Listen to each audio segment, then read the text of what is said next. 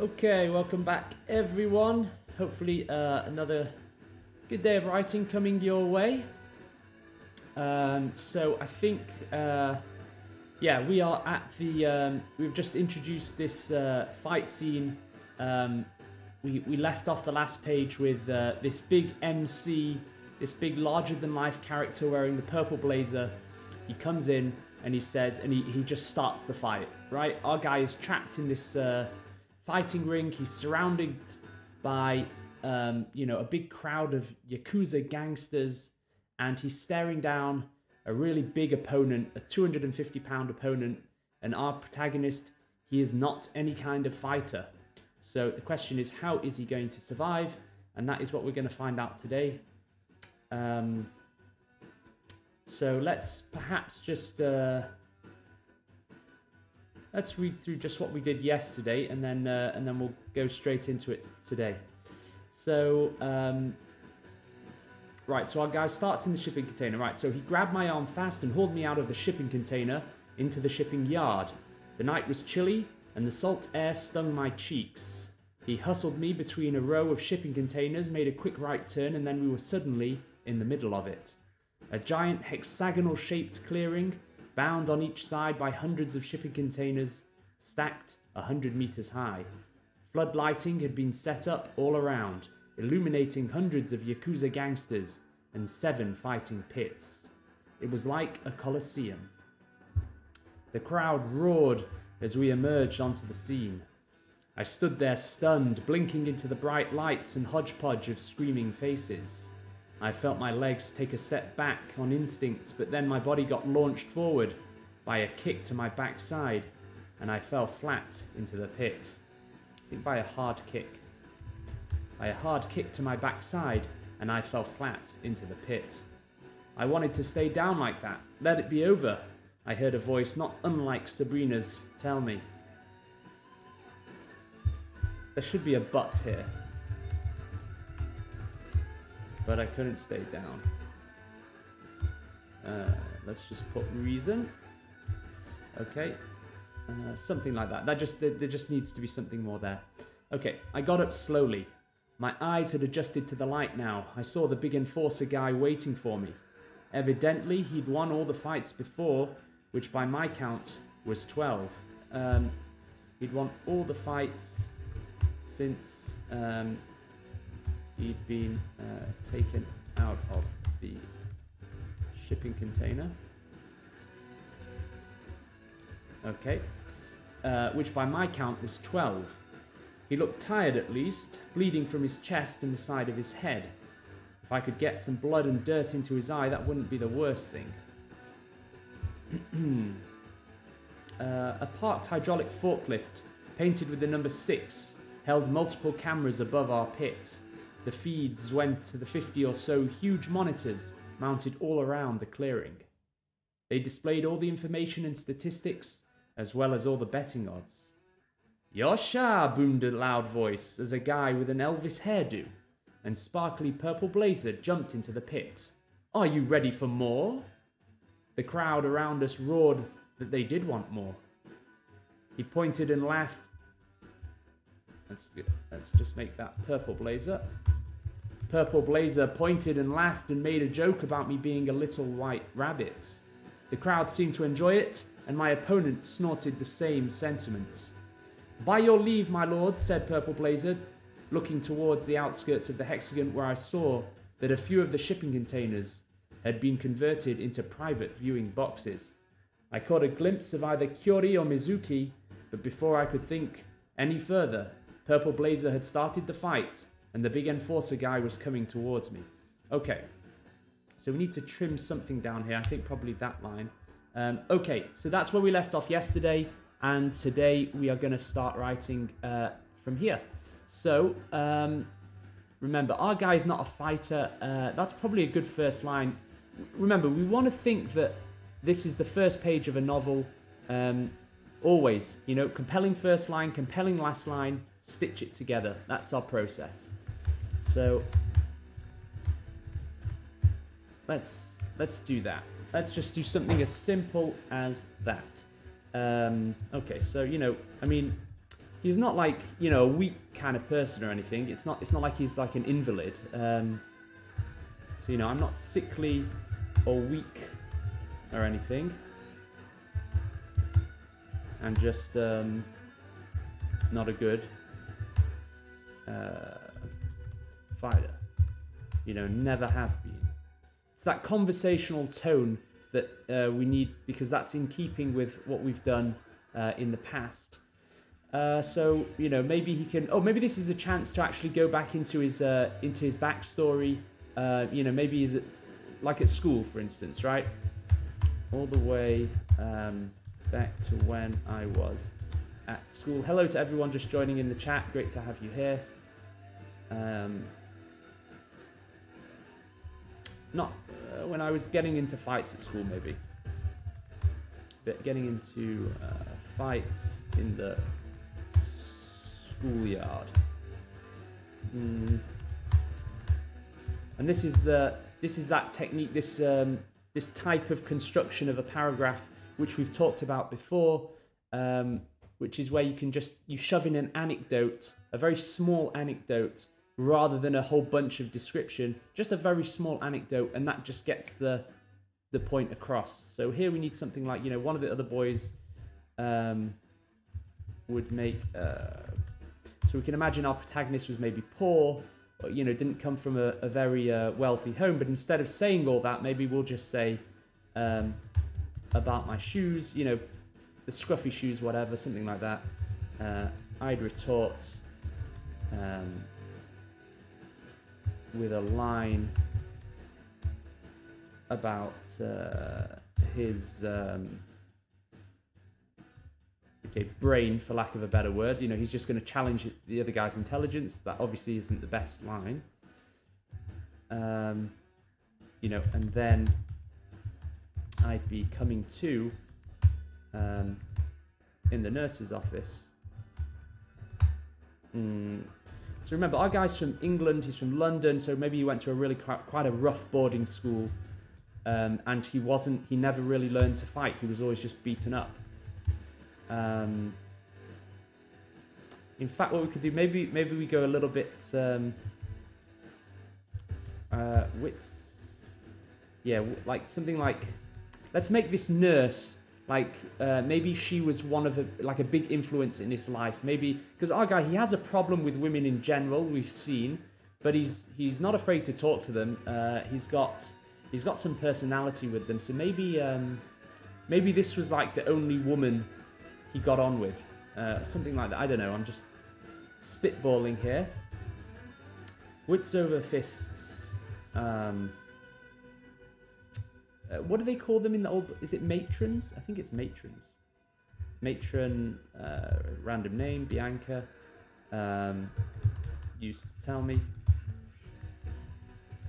Is that right? You, I think you call them matrons, right? When you're in school, the nurses. Uh, and often too. Uh, I got beat up, um, let's say a couple of times a week.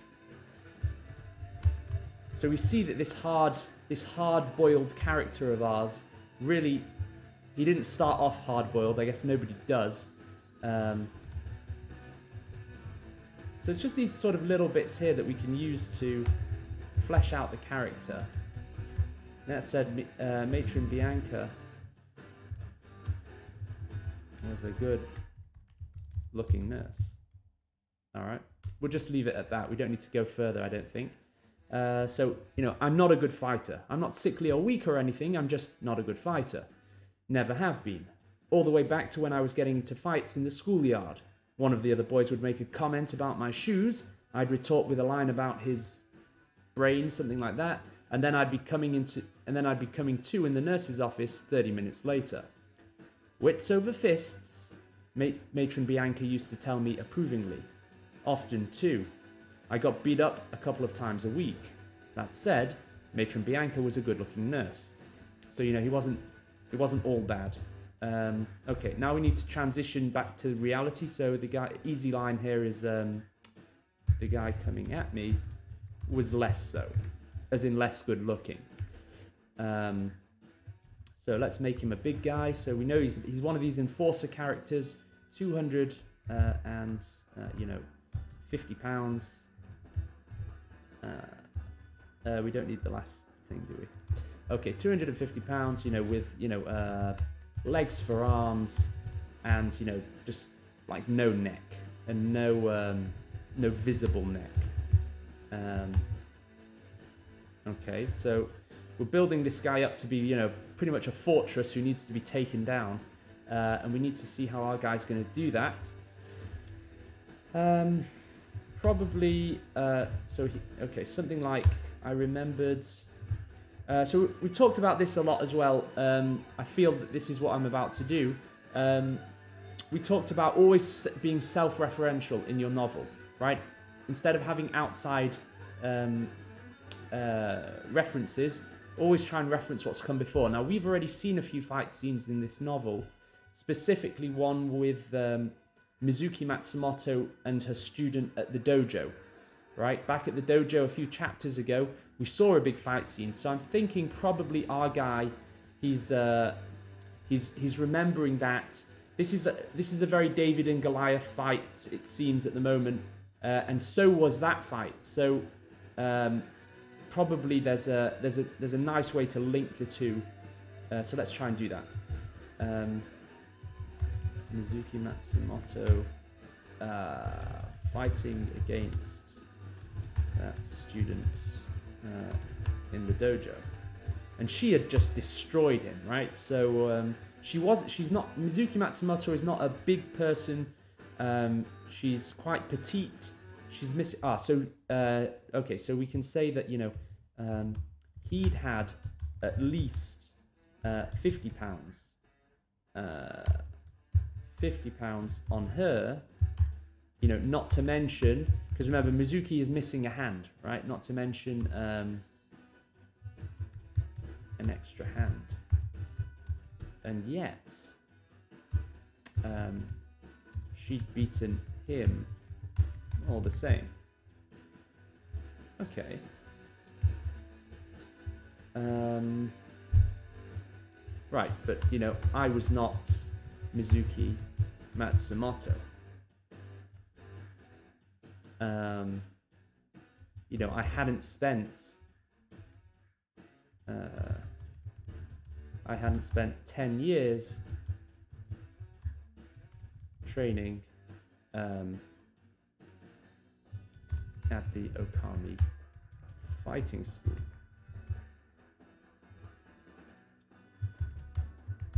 But I had learned a thing or two since uh,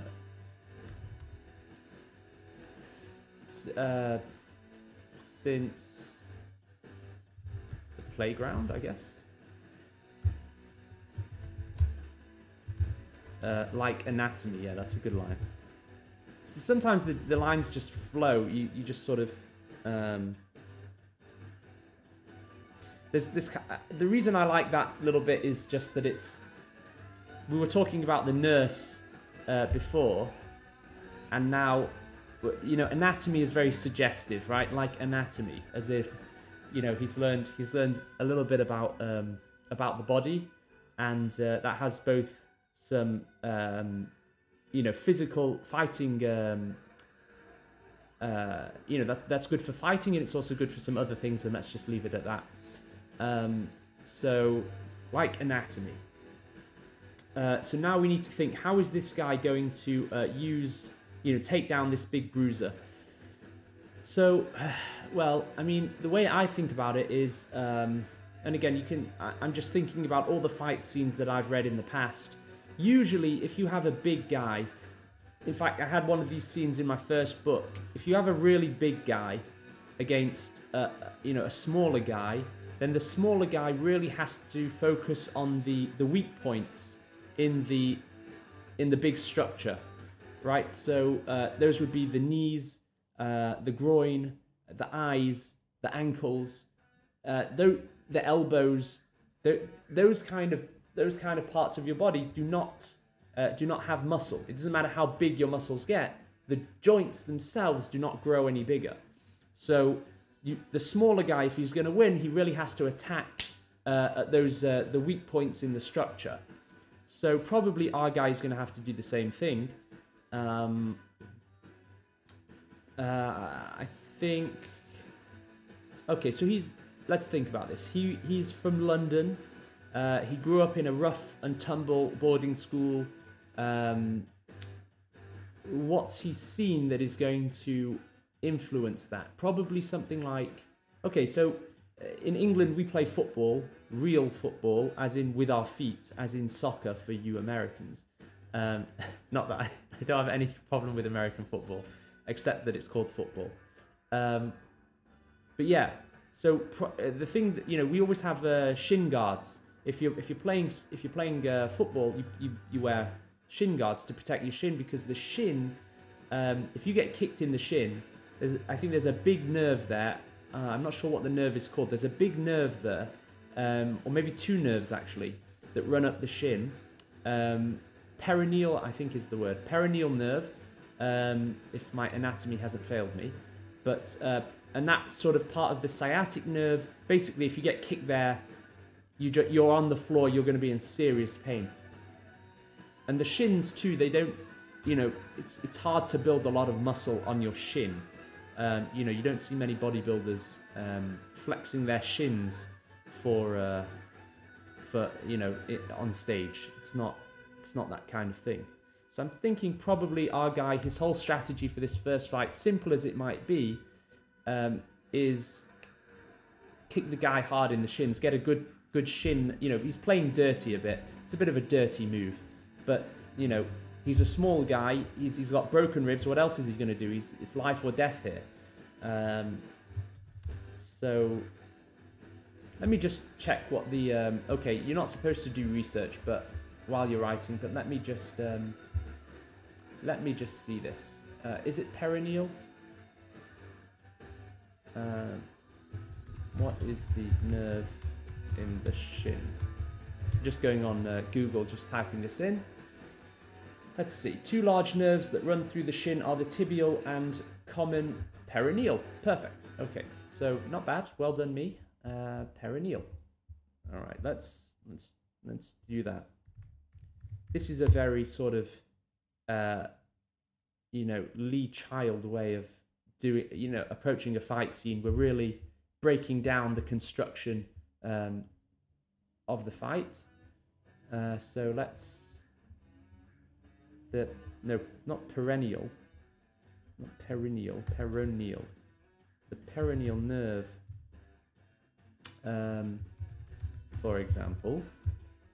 Uh, runs straight up the shin and uh, becomes part of the larger sciatic nerve.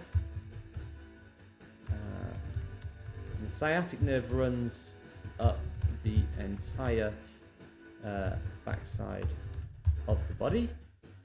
Um, okay, uh, so let's say you know, you know, undue pressure uh, to this nerve can cause serious uh, discomfort, uh, if not, if not even, uh, no, if not, uh, you know, temporary paralysis. Should we put something about um,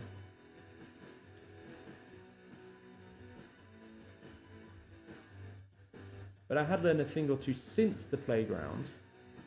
Maybe um,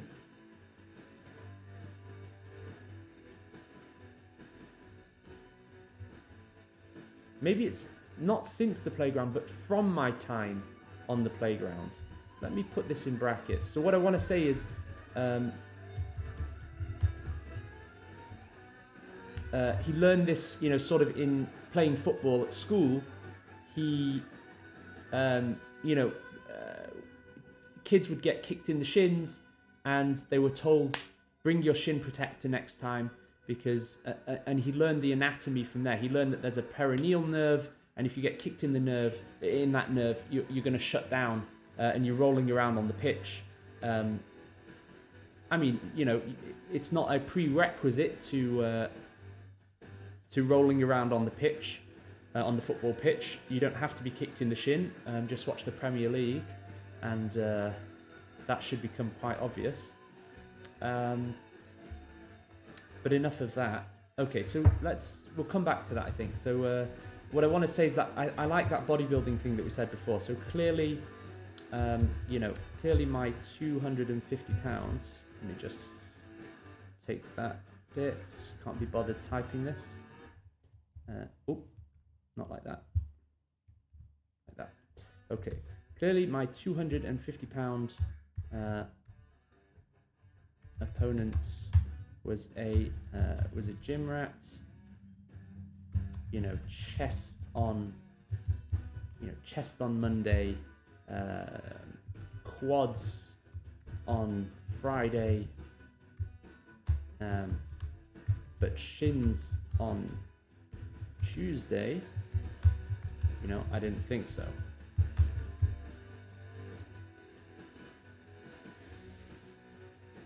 Okay. Um, so we have a we have a decision to make here.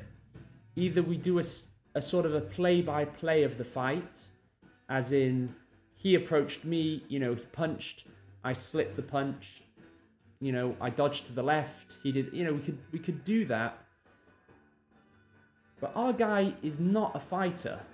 So I don't think we we I don't think it fits the the the the story so far. It doesn't. It's not so in keeping with his sort of terse commentary. So I think probably when he's fighting, um, it's a bit more. It's a bit more off screen, right? We we want to just jump back in. He's. I don't think it's that. So what I mean is this. Uh, it's hard to explain, but instead of writing a play by play, we'll we'll sort of cut from one thing to the next, and um, and just make a witty comment about it. So something like you know, turns out I was right. Um,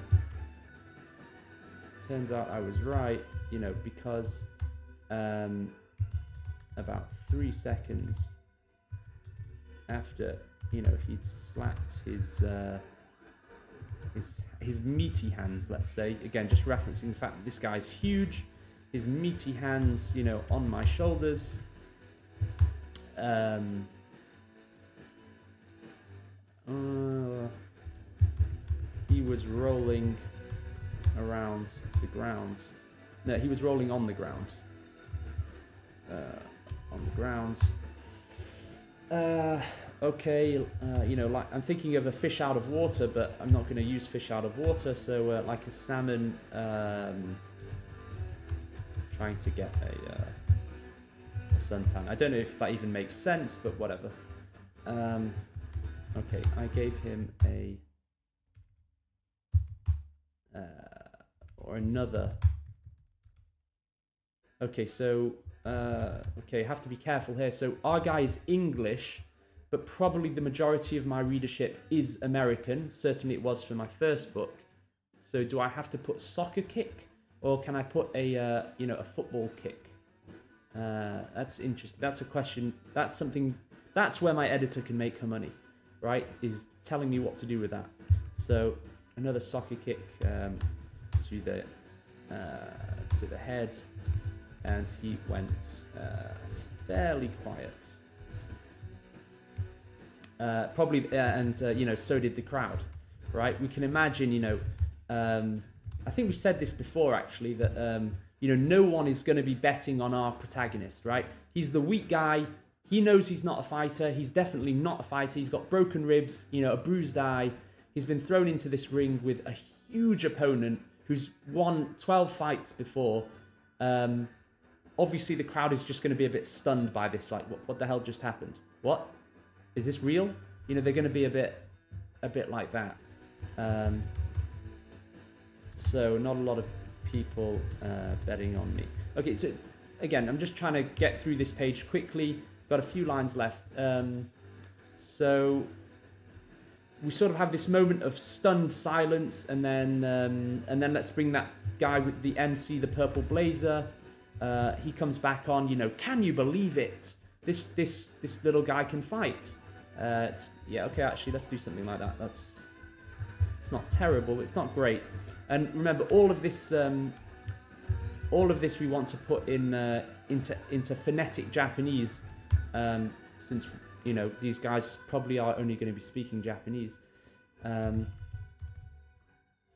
so we'll we'll do that later. You know, in in the next edit, uh, jumping you know back uh, into the pit. Um, I like the fact that we keep using this, uh, the rabbit, right? We we keep using the word rabbit throughout this book. You know, he has the rabbit's foot. Um, there was that story about the tanuki, the farmer, and the rabbit. He was a rabbit and wolves. Uh, there was the rabbit and wolves in the dojo, and now again this guy. I'm wondering if potentially uh, this might help us get out of the problem we had on page one the first line of this novel, um, which promised something huge. Um, you know, we need to deliver on that, and we still don't have any idea what that's going to be. Remember, the first line of this novel was uh, I'm going to tell you a story which you'll believe, and then I'll tell you the truth, which you won't. Now, we need to figure out what the hell that means, uh, and pretty soon, because, you know, this is sort of one of our climax scenes. So uh, something, some twist has got to come into play uh, soon. Um, okay, so um, what's happening now? So the fight has just ended basically with our guy taking down his opponent. Uh, I'm just thinking how to get to the next part as quickly as possible. Remember, we don't want to uh, we don't want to waffle. We don't have a word count. We've not got Penguin Random House, you know, breathing down our neck about this book. So we can afford to be quick um, and skip out the boring parts. So probably another fight is going to start pretty instantly. Um, so maybe we can just write that. So my next uh, opponent, uh, you know, came out.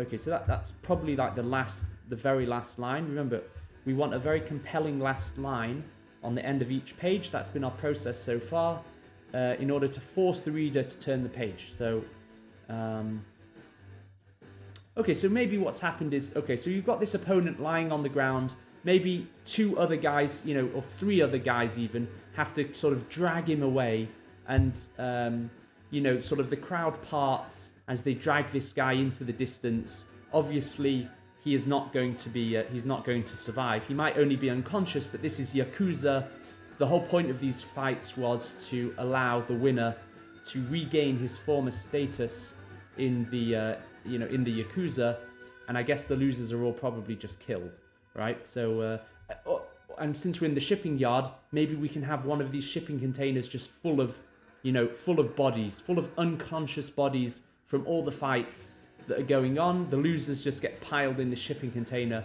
and probably uh, you know stored away on this massive shipping yard um, for time to come. So that, uh, let's do that.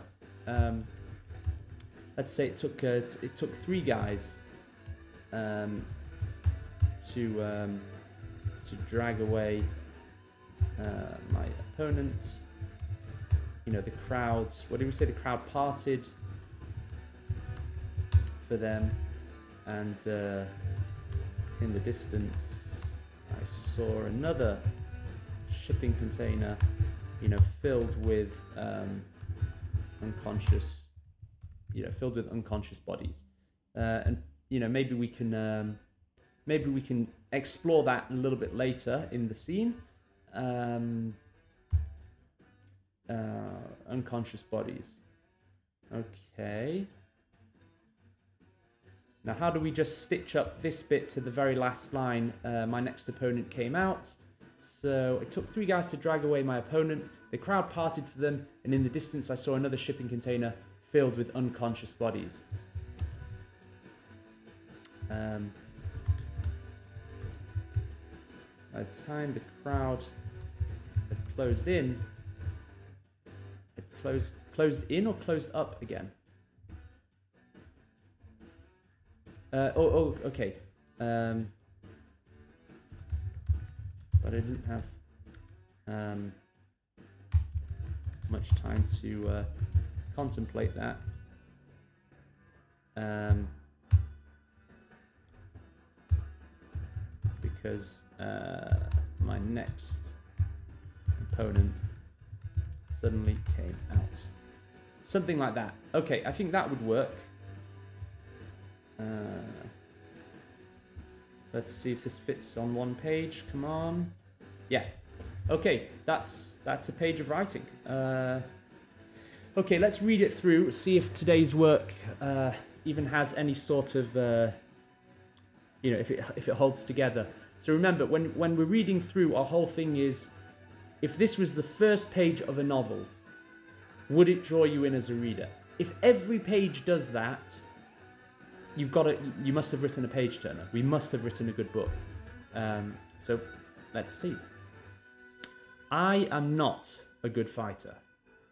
I'm not sickly or weak or anything, I'm just not a good fighter. Never have been. All the way back to when I was getting into fights in the schoolyard. One of the other boys would make a comment about my shoes. I'd retort with a line about his brain. Okay, what's that word? And then I'd be coming into the I'd be coming to in the nurse's office 30 minutes later. Wits over fists, matron Bianca used to tell me approvingly. Often too. I got beat up a couple of times a week. That said, matron Bianca was a good-looking nurse. The guy coming at me was less so. 250 pounds with legs for arms and no visible neck. I remembered Mizuki Matsumoto fighting against that student in the dojo. He'd had at least 50 pounds on her, not to mention an extra hand, and yet she'd beaten him all the same.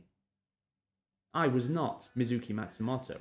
I hadn't spent 10 years training at the Okami Fighting School, but I had learned a th- uh, but I had learned a thing or two from my time on the uh, yeah from my time on the playground. Uh, like anatomy. The peroneal nerve, for example, runs straight up the shin and becomes part of the larger sciatic nerve, which runs up the entire backside of the body. Undue pressure to this nerve can cause serious discomfort, if not temporary paralysis. Clearly, my 250 pound opponent was a gym rat. Chest on Monday, quads on Friday. But shins on Tuesday? I didn't think so. Turns out I was right, because about three seconds after he'd slapped his meaty hands on my shoulders, he was rolling on the ground like a salmon trying to get a suntan.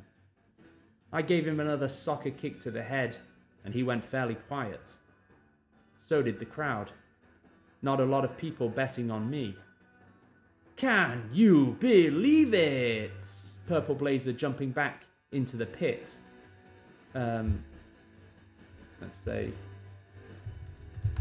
shouted Purple Blazer, jumping back into the pit.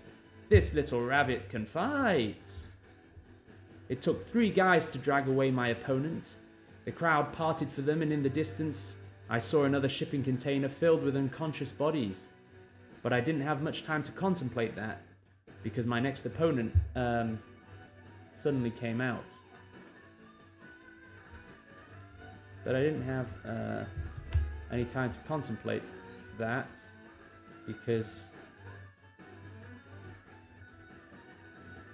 my next opponent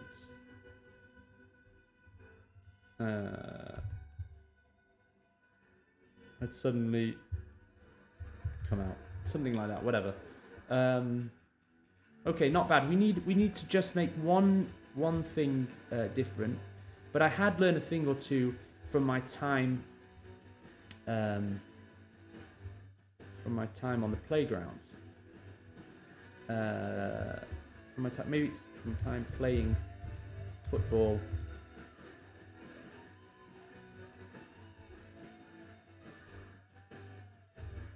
In the playground or on the playground?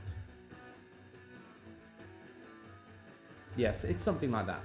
Um, that's basically it, and we just need, you know, all these witty one-liners. You know, um, you can't it's it's very hard to think of them uh, as you are writing. But you know, now that this is in the in the unconscious, the unconscious will, uh, I'm sure, uh, you know, let let me know a good line um, soon, and I can always come back and fill it in later. Okay, but there we go. That's um, that's the next part. I think that reads, you know, okay.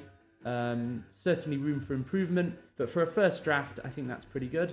Um, okay, so now our guy is going to go into tomorrow, uh, the second opponent um, from the shipping container, and uh, he's going to have to deal with that. And I think this is the fight.